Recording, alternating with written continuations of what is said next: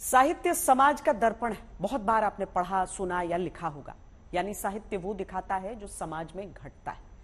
लेकिन साहित्यकार का गाँव सरकार के दावों की हकीकत है, ये कोई नहीं बताता। बिहार का मुजफ्फरपुर और वहाँ बेनीपुर गाँव, जहाँ कलम के जादूगर कहे गए राम वृक्ष बेनीपुरी का जन्म हुआ।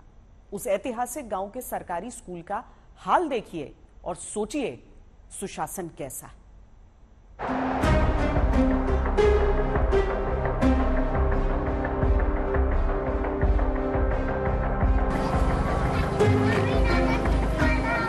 ज़मीन पर बोरा बिछाकर, बैग की जगह झोला और बोरा खोलकर, कॉपी किताब निकालते ये बच्चे किसी साधारण गाँव के नहीं, ये उस गाँव के बच्चे हैं जिस गाँव में देश के बड़े साहित्यकार राम वृक्ष बेनीपुरी का जन्म हुआ।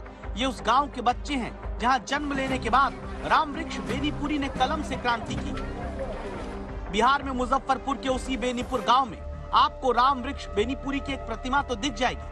लेकिन जिन्हें कलम का जादूगर कहा गया, उनके अपने गाँव में बच्चों के लिए न पक्का स्कूल मिलेगा, न स्कूल के भीतर बेंच या मेज मिलेगी, न बच्चों के लिए स्कूल ड्रेस मिलेगी, न बच्चों के पास बैग मिलेगा।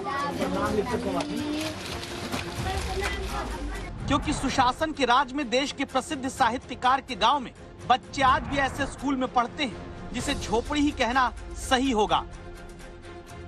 मकान नहीं है, भवन नहीं है, जिससे बच्चे को बैठाने में बड़ी कठिनाई होती है जो बच्चे अधिक और अधिक होते हैं तो हम एक जगह वहाँ आगे एक शिक्षिका है, रिटायर्ड शिक्षा विभाग से, उन्हीं के दरवाजे के आगे छोटा छोटा पेड़ है, पौधा है, उसके नीचे बैठा करके क्लास लेते हैं।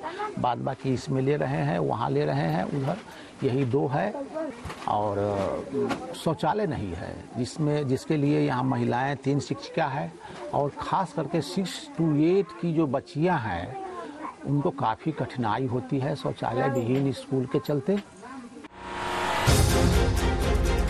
जिस गाँव से एक विचारक, चिंतक, क्रांतिकारी, कलम के निर्भीक योद्धा ने अपना जीवन शुरू किया, उसी गाँव में सरकार और सरकारी व्यवस्था की लिजलिजी अव्यवस्था का नतीजा आपके सामने है।